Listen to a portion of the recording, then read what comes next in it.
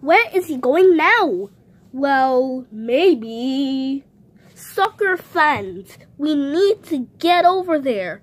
Well, I'm unlucky, so I don't think I can go. Someone already said your name and you didn't pop. This is a sign of luckiness, dude. Well, that was just a coincidence. I'm not sure if I can do this any longer. Aw, come on. You can do it. I can't. Someone needs to cheer that guy up. So we're gonna have to split this half and half. Huh?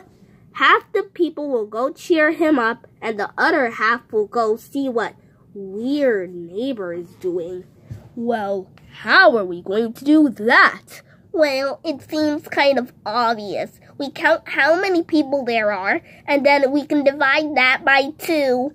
Well, well, that's kind of what I was thinking. Well, we can do it in the next episode, because we don't have time. Bye!